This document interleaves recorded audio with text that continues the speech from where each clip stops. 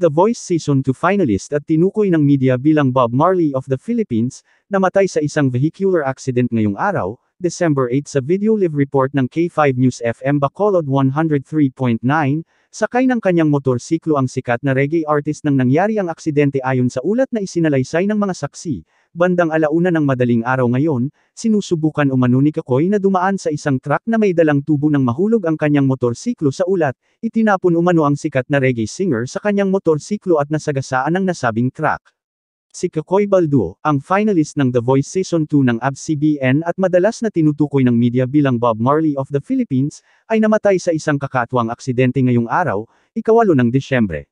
Sa kabila ng kakulangan sa pag-angkin sa nangungunang pwesto sa kompetisyon, ang kanyang paglalakbay ay nag-iwan ng isang indelible mark, nagbibigay inspirasyon sa hindi mabilang na mga aspiring artist.